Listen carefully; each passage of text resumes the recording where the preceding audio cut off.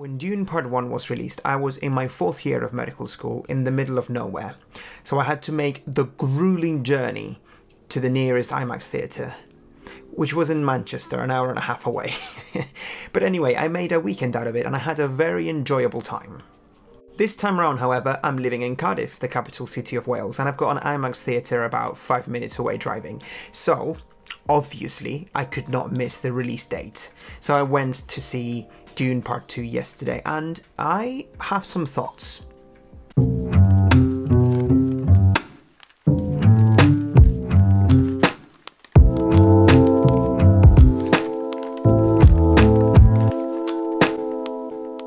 First of all, just in case you're not familiar, Dune is a monumental novel written by Frank Herbert, um, an American author, and published in 1965. That's four years before we went to the moon, just so you get an idea of how revolutionary this book is. When we think about space opera, our mind instantly goes to Star Wars, and there would not be any Star Wars without Dune.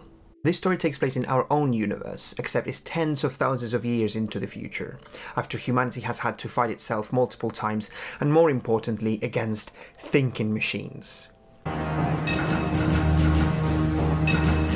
Ultimately, the race of men was nearly wiped out, but they prevailed, and that's why you don't see a single computer or robot in the whole of the story if you look closely. Through selective inbreeding, breeding. I meant selective breeding, not inbreeding. I don't think incest was involved. I don't think. I don't know. Anyway.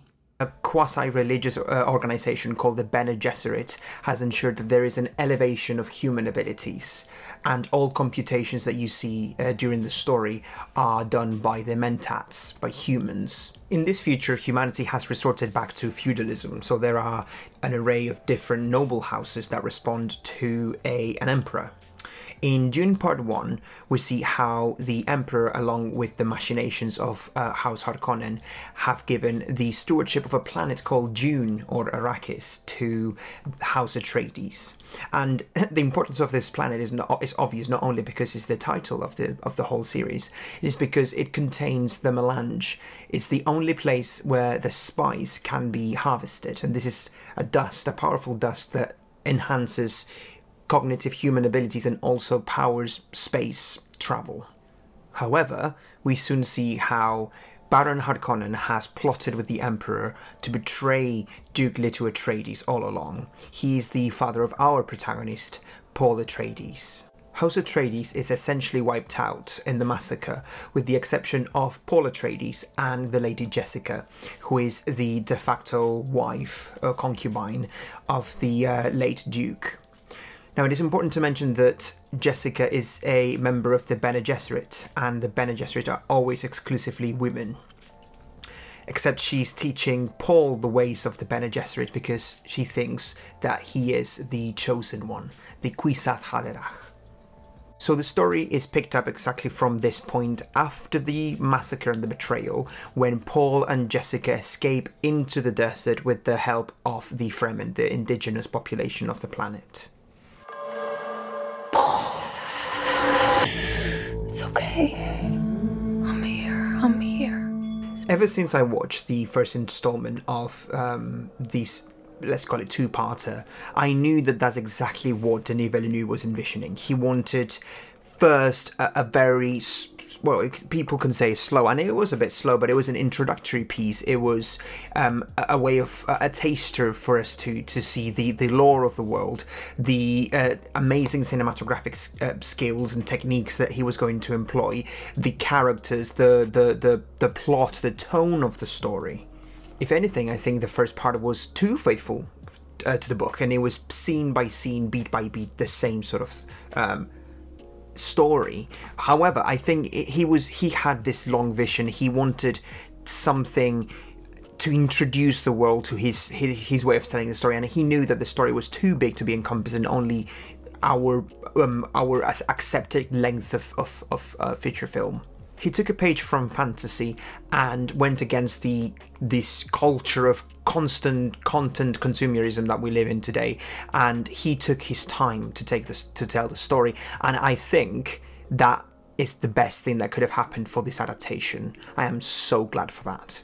As a result, Dune Part 2 has a super dynamic plot. There's a lot of tension, there's suspense, there's romance, there's there's amazing incredible battle scenes and this this flavor of eerie epicness that, that, that Denis Villeneuve instills in his movies. So with perfect pacing, we see how Paul has to confront his destiny in becoming the Kwisatz Haderach and how that contravenes all of his desires. So it's a duty versus desire. There's the the romance subplot. There's the tension, the constant constant ex- external pressures, done beautifully we get to see the bigger picture. We get to see the Emperor, and we get to see the Reverend Mother of the Bene Gesserit uh, near the Emperor, and how this this games that they're playing that they seem to be behind everything. And I'm very reluctant to say anything else because I really don't want to um, inadvertently give you some spoilers.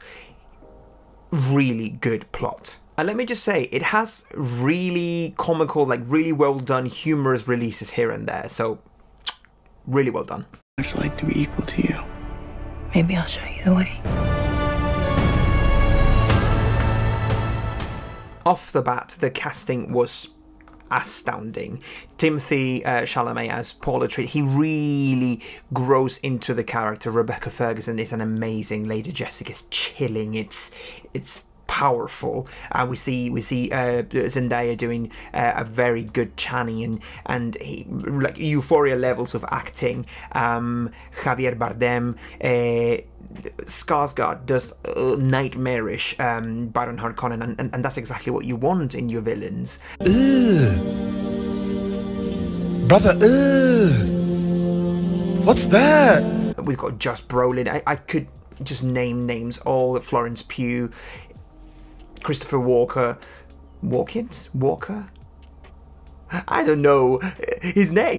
I feel like I also need to mention the sandworms in this section. I think they are a character of their own. Uh, the, the, the Shai Hulud, uh, called by the Fremen. Um, they are foreshadowed a bit in the first part, but now we get to see them in all of the magnificent, horrific glory.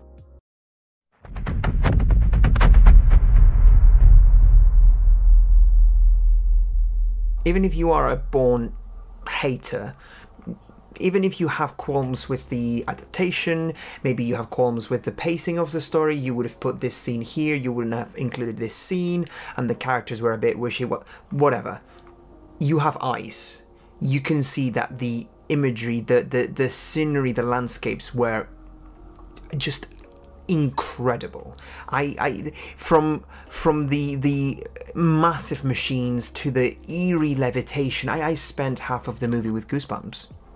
At times, it was sort of went into this this flavor of cosmic horror from from Alien, and, and it was so masterfully done.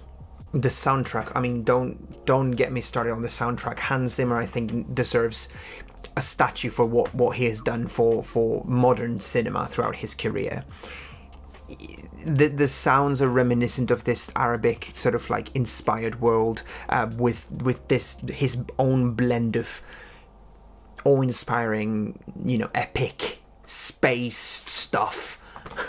Mark my words, this movie is going to get a lot of awards for sound mixing, soundtrack, um, visual effects, scenery, landscape, that sort of thing, because it was just incredible incredible. Something that struck me was the the immensity of it, the scale, the the, the from the interminable uh, desert to the massive machines, the, the sandworms, the ships. Um, if you have megalophobia, you're gonna you're gonna struggle with this one, like for real. Now, what you might take away from this video is just the ravings of a nerdy fanboy um, about a film that he likes. But but if I can appeal to reason, this is what Brian Herbert, Frank Herbert's own son, had to say about the adaptation, about these two films by Denis Villeneuve. And I think I'm going to end the vid video with these words. I think that summarizes everything perfectly. Do yourself a favor, block out an evening, and watch these two movies back to back and have an incredible, immersive experience.